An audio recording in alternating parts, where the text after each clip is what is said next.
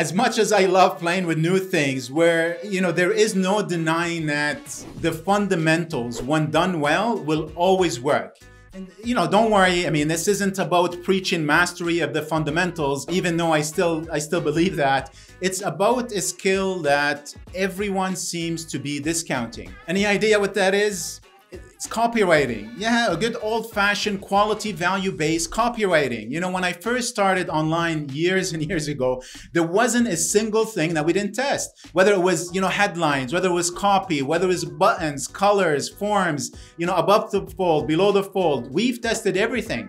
And the one thing, the one thing that we kept coming back to is that without the quality of the copy, there was no conversion. So regardless of what anyone tells you, the one skill that will help you with all your marketing, copywriting. If I could tell anyone starting out what one thing they should focus on, it would be get comfortable and great at writing. Whether that's writing content, writing emails, writing social messages, writing headlines, sales pages, captions these days, all of it. You need to be able to write in a way that speaks directly to your audience so they want to stick around.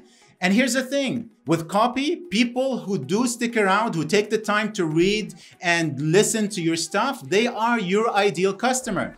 They will be investing their time with you, and more likely, they will engage and become customers. If there is a skill you need to focus on going forward that will add to your bottom line with already what you're currently doing right now, it's copywriting.